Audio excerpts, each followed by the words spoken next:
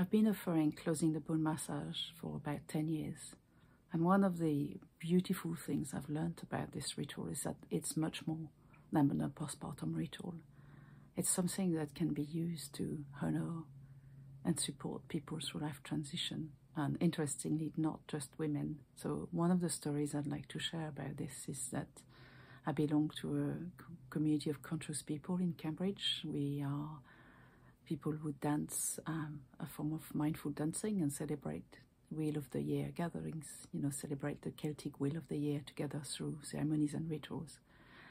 And about three years ago, um, it happened that during a birthday celebration of one of the members of the community, I led a small uh, wrapping version of the closing the bone ritual where you know I just gently supported the group in holding the seven scarves around the body of the person whose birthday it was, who actually happened to be a man.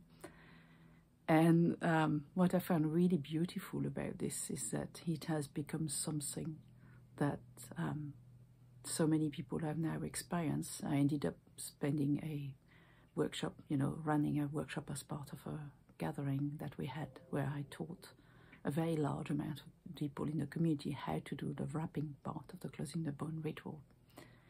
And this alone, just the wrapping part, is incredibly powerful to help people come back to themselves and to help people feel remember what it feels like to feel safe into their bodies and at this moment in time many many of us need this and um, i'm leading such a ceremony tomorrow for another beautiful the birthday of another beautiful man, man for our ceremony.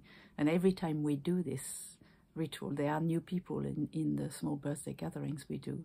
And every time people witness the closing of the bone wrapping, they then say, Can I have this for my birthday? And I think it's a much more meaningful and special and beautiful way of honoring the somebody's birthday. So one of the things I just want to say is that it's really something anyone can do.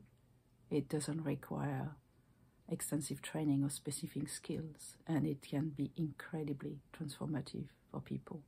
So, if this is something that you'd like to find out more about, next Wednesday evening at 8 pm UK time, Wednesday, the 20th of December, I am running a free webinar about reclaiming rituals for women's lives. And in this webinar, I will show how to do a simple, simple wrapping version of the closing of the bone rituals. And I would really like more people to start offering this to their community, more people to start offering this not to, just to new mothers, but to anyone who's going through trauma or loss or um, endings and beginnings in their life because it can be just absolutely nurturing, beautiful, powerful, not just for the person receiving it, but for everyone in the community.